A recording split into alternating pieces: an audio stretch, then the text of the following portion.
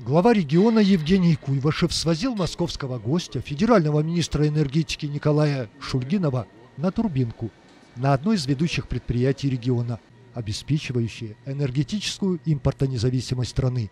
Уральский турбинный завод выпускает каждую вторую теплофикационную турбину, действующую на крупнейших энергообъектах, как в стране, так и в ближнем зарубежье. Несколько лет назад э, Уральский турбинный завод выпускал одну турбину в квартал, то сегодня Уральский турбинный завод в месяц э, полторы-две турбины делает. Поэтому, конечно, мы видим хорошую динамику. Глава Минэнерго в сопровождении губернатора и полпреда президента Владимира Якушева прошелся по цехам завода, спрос на продукцию которого после ухода с рынка зарубежных конкурентов растет с каждым днем, и предприятие готово его удовлетворить.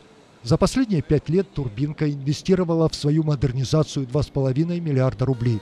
Это позволило оснастить завод не только новыми станками, но и открыть участок плазменной резки и орбитальной сварки, запустить портально-фрезерный обрабатывающий центр, участок лопаточного производства и центр восстановления деталей горячего тракта и компонентов холодной части газовых турбин.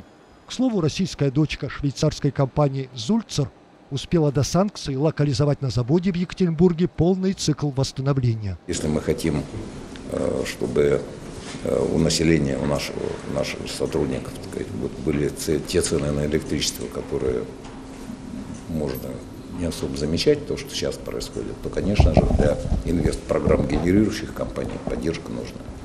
И они получили. Увиденное убедило министра в конкурентных преимуществах турбинки. Заказами завод будет обеспечен. И сегодня мы убедились в том, что сегодняшние заказы, которые выполняет завод, э, они выполняют обязательства по срокам. Мы так надеемся, и у нас нет сомнений. Поэтому, а, учитывая конкурентные преимущества, я думаю, что и при а, конкурентном отборе на последующие годы они будут иметь конкурентное преимущество для обеспечения производственной программы запасов. На заводском совещании посланцы федерального Минэнерго обсудили импортонезависимое будущее уральских предприятий энергетического толка. А на заседании регионального штаба власть обсудила с федеральными чиновниками детали социальной газификации.